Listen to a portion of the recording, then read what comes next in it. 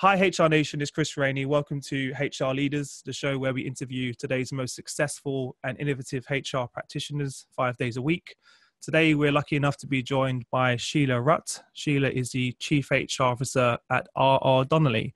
Uh, Sheila, welcome to the show. How are you? Hi, Chris. Thank you. I'm well. Thank you very much for joining us. Um, Sheila, fill in the gaps. Tell our listeners a little bit more about yourself and, and your journey. Sure. Um, so, you know, Chris, my work life actually started at the age of 16 uh, when I got my first oh, job as a waitress. Yeah. and I, I, but I waitressed all the way through college, undergraduate, and graduate school. It was an incredibly valuable experience for me. Um, I learned how to read people. I also learned the benefit of teamwork. And uh, in the waitressing world, it's something we called cross serving. Uh, so, for example, when you see that uh, cup of coffee uh, and it's empty and you're holding the pot, you fill the cup even if it's not your customer. Uh, and so your coworker has to do the same for you. And that cross serving led to happier customers, better tips. And so early on, um, I learned a lot about behavior, a lot about reading people. Some people wanted to talk, some people didn't want to talk. And um, I learned quickly that people are very different from one another. Um, and that different communication styles resonate with people differently. So, again, at a very young age, I learned that you can't use a peanut butter approach with people. Uh, from an educational standpoint, I studied psychology in undergraduate school, and then I decided to go to graduate school and studied industrial organizational psychology because I was fascinated with behavior in the workplace. Uh, during that time, I had the benefit of teaching, consulting, and also doing a corporate internship um, after graduate school, I had a decision to make. So I could either teach, I could consult, or I could do applied HR work with my degree. Uh, I personally was drawn to people in action and being in the middle of all of that. So my first applied HR job was with a privately held German manufacturing company called LuK Incorporated. Uh, it was an opportunity to work in not only a new environment, but a German environment, which was totally foreign to me at the time. Mm-hmm. Um, we expanded the U.S. footprint by building a torque converter plant from the ground up. We staffed it. It was an absolutely incredible experience. And then a bigger opportunity presented itself in 2000 at Diebold. Uh, it was a bigger company, and I had the ability to really, so to speak, go global. Uh, I started as the director of organizational development at Diebold. And within three months, I took a role as the vice president of North America HR. And then within the first year, I was catapulted really to the VP of Global HR Operations. And I remember sitting in my first financial review and I was writing down words I didn't recognize so that I could look them up later. Yeah. And uh, I had I wrote down the word revenue and at that point, I realized after I looked it up and realized it was just sales, uh, I realized that my PhD in industrial organizational psychology was somewhat limited. So I went back to school at night to get my MBA. And um, and I'm proud to say that now I not only know what the term revenue means, but I also know how to read a balance sheet. Um, so I became the CHRO of Diebold in 2005 and served that company up until this year. Uh, I never had to leave Diebold to grow, and I was really blessed to have had that experience. So when the RRD opportunity presented itself, I was extremely attracted to the challenge the company had just gone through a massive change. It was more than a 150 year old company that spun into three companies. And the ability to be a part of the founding leadership team that takes the company to a new place was just incredibly appealing to me. Um, I knew this was an opportunity to grow both personally and also have a very meaningful leadership impact. And now, having had the benefit of being with the company since the beginning of July, my assumptions have been validated, and I'm even more excited because I see the tremendous growth opportunities that we have, and I'm sincerely, I'm, I'm honored to be a part of it.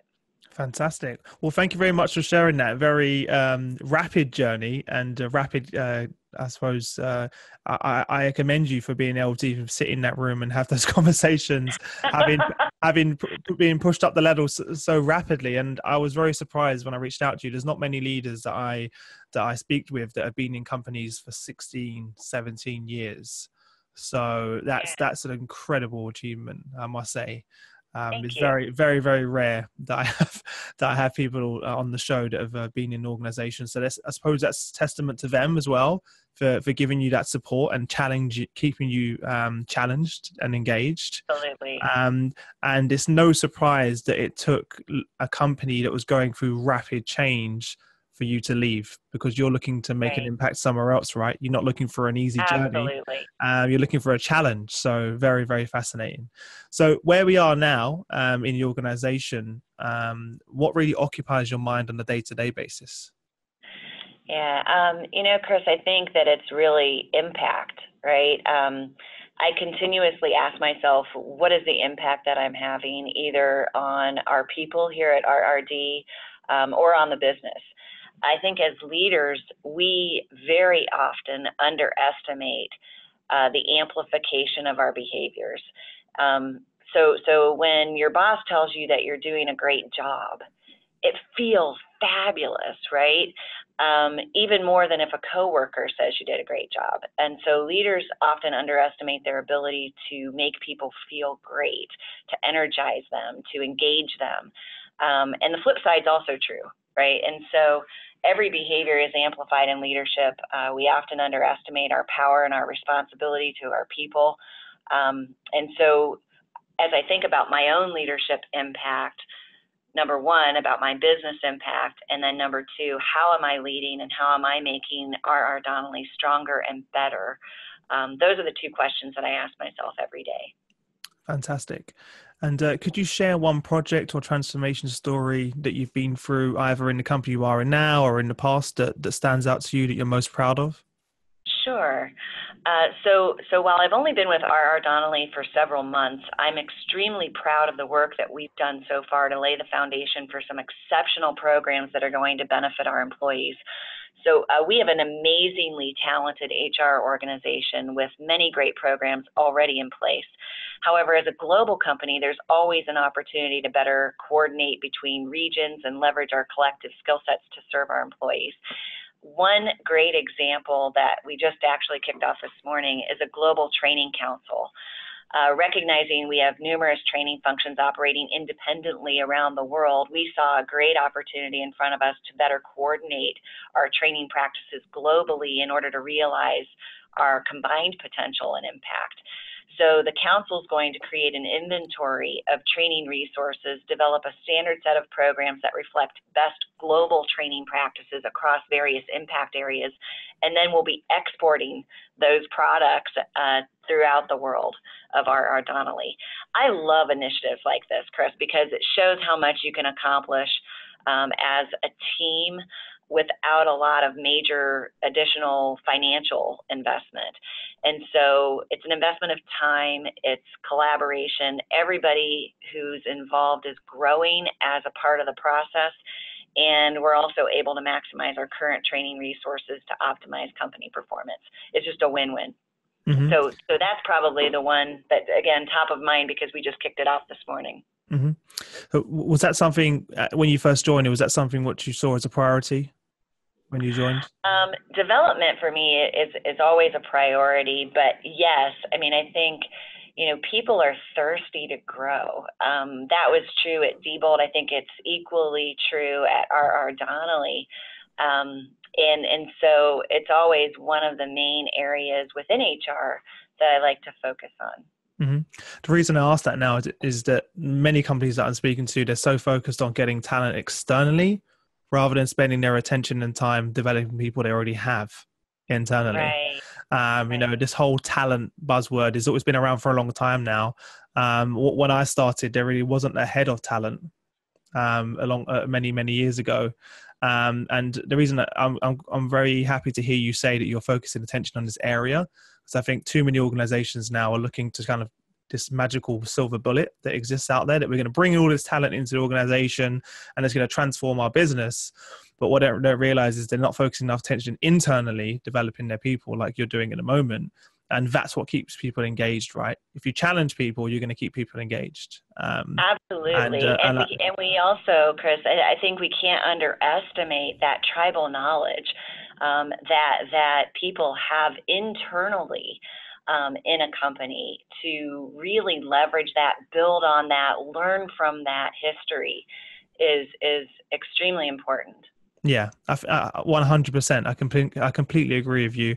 I had a similar situation in my last business where we got bought by a private equity company, and they kind of replaced all the senior leadership team with people that had no experience in our industry. And they're very good, good leaders, but they, they didn't have those that that knowledge that of being on the job, right? That only that only only actually doing the job can give you that experience. And I right. think some of the best innovation exists in the minds of these people that are in your organization. Absolutely. And unless you tap into that and, and give them a chance to voice their their their ideas, um, and also create a culture where that's actually accepted, that people yeah. can actually voice their ideas without being told that's not your job. Get back to work. Um, right. which is a similar similar thing that i had in my previous organization. Um, so really good to hear that you say that. O- on that point what skills do you think now will be more important important moving forward in the future for your organization? You know we're all going through this digital transformation. Is that something that you're conscious of that you're preparing the business for yeah, you know, there, there are really, I think, Chris, two key areas that I believe are really important, not only for HR practitioners, but for any business professional. The first skill set has to do with technology. Um, technology is evolving rapidly. We all know that. It's impacting all fields. And in order to remain relevant, it's essential that we work to remain comfortable with the latest technology and tools.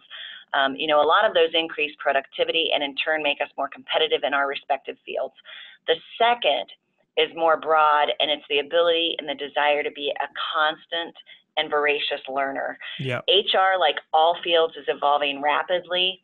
Um, I always advise my leadership team to spend time reading the latest HR related studies and business books, listening to podcasts, uh, networking with other HR professionals that can provide new insights, new perspectives, because really, the more you know, the more valuable you are to the organization that you're a part of, and the more that you can contribute. Um, and so, so those are, I think, the two key areas that are top of mind. Mm-hmm. On that point, you mentioned podcasts, reading, but at any other areas that you use personally to keep up to date with current events? What do you find to yeah. be the most effective ways of doing that?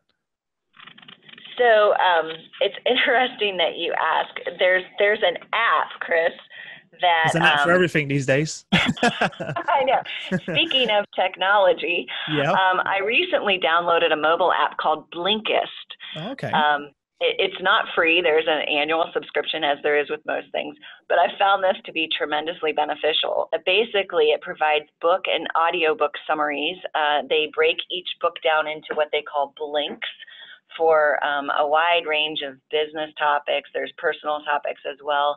You know, we're also busy these days that it can be really challenging to yeah. find the time to read a full book. And so, as I'm getting ready in the morning, I'm listening to a couple of book summaries when I'm getting ready. Um, I've found it to be a great way to squeeze in some quick uh, knowledge uh, before I start my day. Mm, that sounds perfect for me. I'm, I'm definitely gonna have to get that, get the yeah. link to that from you because I'm exactly the same. One of the reasons why I started the podcast was for that exact reason. Um, we're so busy now, and um, with so many distractions, there's so much you know coming at you, whether it's on your computer, on your phone. There's this constant distractions, and time time is the new currency, right? Um, that we all that we all operate on. So um, I use podcasts. So you know, on the on the way to work, on the way home, in the gym, it's just the way I consume content, and I, I find it very hard to do to to complete books. I'll start a book, I'll get halfway through, and then I get distracted. So I think having an app like you just mentioned would be absolutely amazing. So thank you very much for sharing that. Um, it's sure. going to be very useful for everyone. So, in your experience, um, of course, you've you've worked with many leadership teams along the way. Could you share some um, of your experience on on how what what have you found to be the most effective way to engage and communicate with your senior leadership teams? Sure. Um, you know, like like all senior leadership teams, at least any that I've engaged with, we have a tremendous amount on our plates. And as simple as it sounds, planning regularly scheduled conference calls with the entire global leadership team, despite the challenges that come with coordinating timing across those time zones, is tremendously beneficial. So once a month, we all get on the phone for at least two hours to talk through major projects, make sure we're all on the same page, that we're leveraging key initiatives globally. um, not just in every individual region. Uh, but with the amount that everyone has going on at any given time, it can be very challenging to coordinate without setting aside specific time to make sure it happens.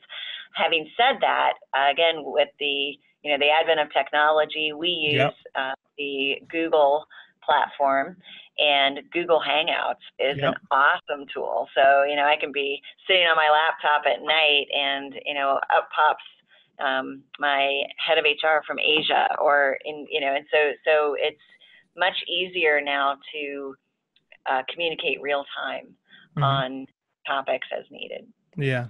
Do you also think, do you also use things like WhatsApp? Do you use stuff like that as well with the team or not, not, not, not so, not we so haven't used WhatsApp. No. Okay. No. No, because one of the things I, I, think we're in this middle ground where it's fantastic to have things like uh, Google Hangouts, like Zoom we're on now, and Skype, but it also sometimes feels like you can never escape work. Do you ever get that feeling? Where you know, because we're always right, we're right. always we're always on, right?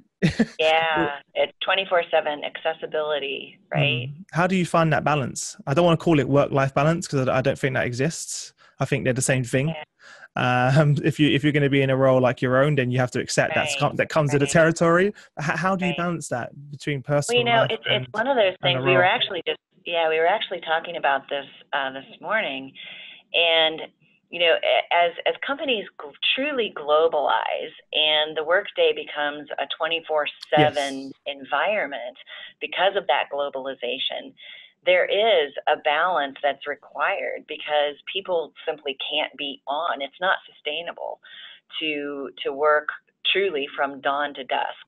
And so the HR challenge uh, is really how do we how do we create some healthy boundaries in our workplace for how we accomplish work globally um, and setting some standards um, so that we don't burn people out so that we are respectful of their personal life as well as their work life, um, and, and allow them to be virtual, not mm-hmm. expecting them to be in the office at eight when they've been on the phone um, until midnight the night before.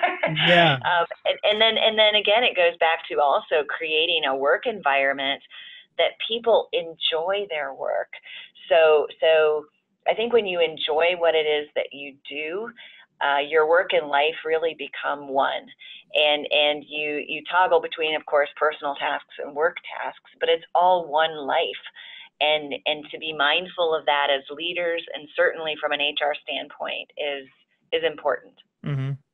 I completely agree with you, and um, a lot of my friends don't understand this. Obviously, running my own business when I'm up to sort of twelve o'clock in the morning, even one a.m., doing podcast editing or speaking with people over in the US, um, you know, a lot of my wife's friends think I'm crazy. like, you need to rest, you're going to burn out. But when they realize this, if it's something you're passionate about and you love right. what you're doing, you don't see it as work. I actually get right. excited about it. I'll happily stay up all night long working on something that I'm excited about that, that I can't wait to do. Um, but you're you're right. You, you find that the people are, that complain um, um, are, are it's because they're doing a role they actually don't want to do. Um, yeah. and they're not really that passionate about. So you're not going to go right. the extra mile for something that doesn't excite you um, as right. well. So very, very interesting. Um, with the business you're in now, obviously, it sounds like it's very exciting that you're going through some big global change. Um, where do you see the biggest opportunity for improvement in the business, and and how are you and the HR team helping the business achieve those objectives? Sure. So, um, you know, our company is evolving rapidly. Uh, so it requires continual effort to provide the resources and information to our people uh, that enable them to hone their skills to match the company offerings.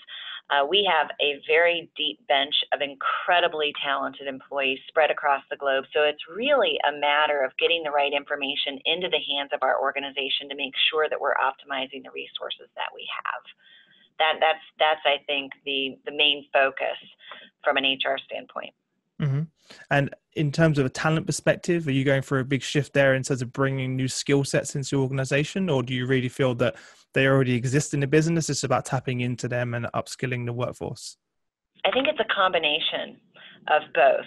So, so certainly leveraging the talent that we have and infusing new skills where needed um, is, is, going to be key for us.